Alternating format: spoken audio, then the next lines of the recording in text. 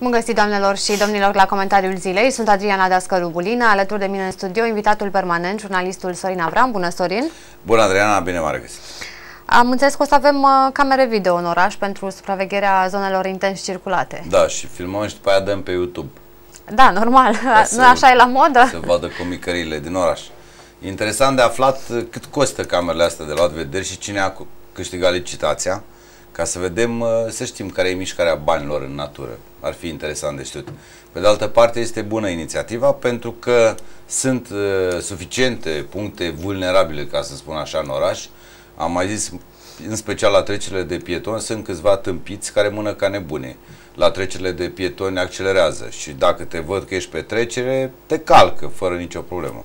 Fără deci nicio remușcare. Fără nicio remușcare și fără să se întâmple ceva după aia, pentru că la noi omori omul cu mașina și îți dă cam așa, e la mod de 2 ani cu suspendare. Ferească Dumnezeu să se întâmple așa ceva. Uh, deci, uh, pe undeva este bună această inițiativă, numai că ar fi o mică problemă. Care uh, anume? Camerele astea ar funcționa numai ziua, pentru că noaptea Suceava este un oraș cufundat în întuneric. Și noaptea ce să filmezi acolo pe întuneric? Ce să vezi? Adică nu poți să vezi. Nu poți să vezi, adică ele filmează, dar o negreală dintre aia nu ajută la nimic. Deci dacă domnul Seredenciuc și conducerea primăriei Suceava a rezolvat problema iluminatului, ar fi foarte bine. Suceava undeva, probabil că ne pregătim acum pentru festivalul medieval și Suceava trebuie să arate ca nevul mediu. Și de aia ne ținem beznă. Da, vreau să le spun autorităților că în evul mediu măcar erau niște torțe aprinse. Uh-huh. Măcar să aprinde două torțe să le pună. O torță la intrarea dinspre... la intrările în oraș, ca să creadă lumea că suntem cât de cât civilizați. În rest să ne, lase, să ne lase în beznă, știi? Și oricum, fără nicio problemă, poate să ne lase în beze. E rău pentru noi că ne rupem picioarele, dar nu avem teamă că ne tâlhărește cineva, pentru că am văzut că în Suceava poliție nu avem și te tâlhărește ziua, pe lumină. La adică, mare chiar. Și tâlharii nu mai umblă noaptea. Noaptea bat și ei, cluburile, merg și ei cu fetele. Ziua se face treaba, cum fiecare merge la serviciu ziua, nu? și tâlhare îți dau în cap ziua și seara e de, noaptea e de distracție pentru toată lumea. Cheltuie ce au uh, da. produs în zile. Sau să ne cumpere la fiecare câte o lanternă din aia de cheie, știi? Cu laser, să ne jucăm seara ca vader prin oraș. Pe aici. Să vină domnul Sredenciuc să ne filmeze. Ca pe niște licurici. Da, să ne filmeze.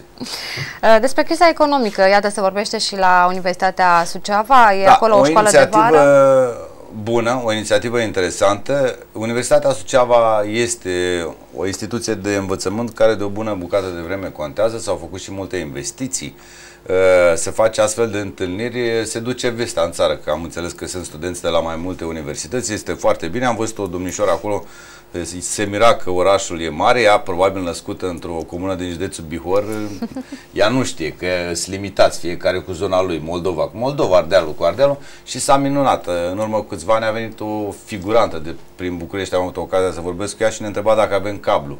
Și a zis avem și McDonald's. De televiziune? Da, da avem și McDonald's, adică suntem, suntem tari. Acum avem și avem și domnișoara asta, îți dai seama cât da.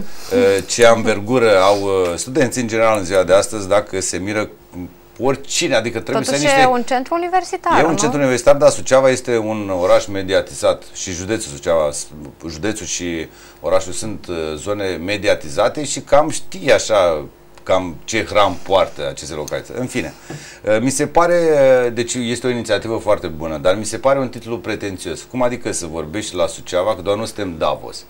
Nu e reuniunea de la Davos, aici să se întâlnească liderii mondiali să vorbească despre criza mondială. Deci criza mondială și statul de uh-huh. drept. Primul rând suntem stat de drept, pentru că în România nu suntem încă o democrație consolidată, în ciuda rapoartelor și asta s-a dat uh, monitorizarea pe justiție din partea Comisiei Europene. Comisia Europeană are alte probleme decât să e criză economică și să mai stea la fundul României să vadă ce face România. România nu este o democrație, am mai spus eu, noroc că a dat Dumnezeu și ne-a luat Uniunea Europeană cu forța, pentru că astăzi am fi fost cam cum e în Republica Moldova. Deci nu suntem stat de drept. Dacă se abordează această problemă din acest punct de vedere, sunt de acord. Dar după aia nu poți să vorbești despre criză economică. Despre criză economică, cine să vină să-ți vorbească? Nu are cine. La noi nu știu ăștia de la guvern ce fac. Uh, azi venea, a venit domnul Nițe, de la, ministrul de la IMM-uri și a spus că se contracte economia cu 6%. Cu două luni spunea că nu se mai contracte, că trebuia să scoată un impozit, dar codul fiscal pe la anul, deci e o bulibășeală generală. Și cine să vină să-ți vorbească despre criza economică. Probabil că nu cei din guvern. Da, păi dacă ea nu știu, păi las de unde să știe. Uh, și cine să vină să-ți vorbească? Niște profesori care o viață întreagă au lucrat la stat, adică au primit salariul de la stat și în viața lor n-au făcut o afacere privată sau dacă au făcut, au făcut școli din astea, universități cum e Spiru Haret, care e o mangleală pe față și ce, ce să spună profesorul respectiv despre criza economică. Și vrei, nu vrei, când discuți despre criza economică, la, la noi are o particularitate. Deci criza economică este mondială, dar în România criza asta economică are un specific, pentru că la noi fiind alegeri prezidențiale în toamnă, lumea are alte probleme, lumea politică. Ăștia care ar trebui să aibă grijă de țara asta, ei au grijă să-și conserve posturile și își dau la joale în așteptarea bătăliei finale, uh, uh, în așteptarea alegerilor prezidențiale. Da, da, da. Deci vrei, nu vrei, trebuie să intri în zona politică dacă discuți despre criza economică, un subiect atât uh, de vast. Uh, am înțeles că va veni domnul Petre Roman să vorbească. Ce să vorbească Probabil Petre Roman? Pe Petre temă. Roman este acum un personaj care nu contează. Petre Roman nu mai este o voce în politica românească. Petre Roman nu contează la acest moment. Este a șaptea roată la căruță pe undeva pe la nu știu ce sfednic. Domnul Roman ar putea să vină să vorbească, eventual ar fi fost o temă interesantă, căsătorii și divorțuri în timpul crizei economice. S-a căsătorit recent cu o cântăreață de muzică pop, manele sau nu știu mai ce. Domnul Roman asta poate să spună. Lasă-l că am înțeles că azi e ziua lui.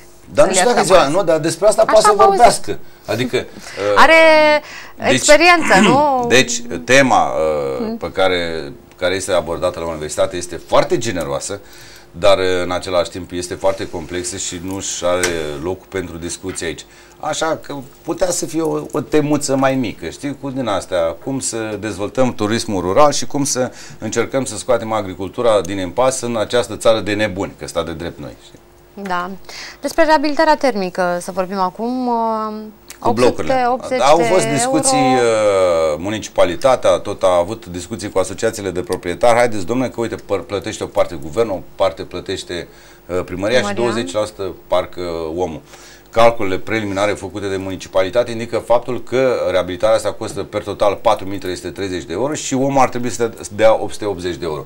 Scandalul de unde porne? Scandalul a fost la asociații pentru că s-a pus uh, problema brutală, adică hai oameni buni semnați, după aia uh, s-a spus, domne, au fost niște stipulări în contracte că își pierd oamenii în casa, ceva de genul ăsta. Bine, nu și-o pierdea nimeni.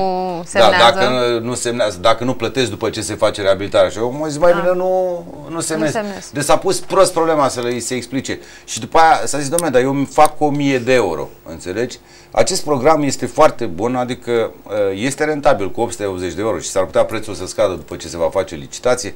Este rentabil pentru că am înțeles că spui și geamuri termopană, îți spune și aia și este foarte în regulă, economisești foarte mulți bani. Uh, pe de altă parte, dar acum pe tine te interesează că mai aproape ție cămașa, nu te interesează sacul ăluilalt. O sumă este cam măricică în condițiile acestea de criză în care toată lumea scade prețul, inclusiv cei de la termopane, lasă prețul mai jos, dar fiind un program coordonat de guvern, orice guvern care se află la conducerea țării vrea să câștige bani pentru partid și dacă se poate să mai câștige și niște băieți. Și probabil că este uh, o chestie pentru drenarea unor bani, dar important e că îți faceți. Dacă stai așa, nu mai ajungi la niciun cap. Îți mulțumesc, uh, Sorin, pentru aceste comentarii. Doamnelor și domnilor, aici se încheie comentariul zilei. Vă reamintesc, urmează în reluare emisiunea în oglindă. La revedere!